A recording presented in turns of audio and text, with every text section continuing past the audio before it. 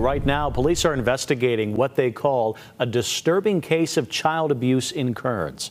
A couple there is accused of locking up their child for days, possibly weeks, inside a makeshift cell. Police showed up to their home last week for a welfare check, and inside, officers say they found the boy in what looked to be a closet underneath the stairs.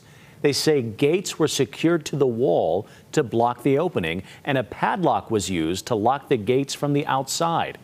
Police say the child was only let out to eat or to use the restroom. Now, we spoke to a neighbor today who didn't want to be shown on camera, but she describes a lot of yelling and chaos coming from that house.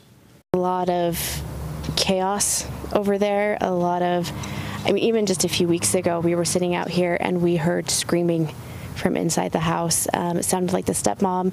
She came out, drove away. We didn't see her for a little while. She was homeschooling him. A lot of it sounded like a lot of like military type drill stuff. Like she would be out there like giving marching orders. Now, the child's dad, Travis Peterson, and stepmom, Melissa Gray, are being held tonight on felony child abuse charges.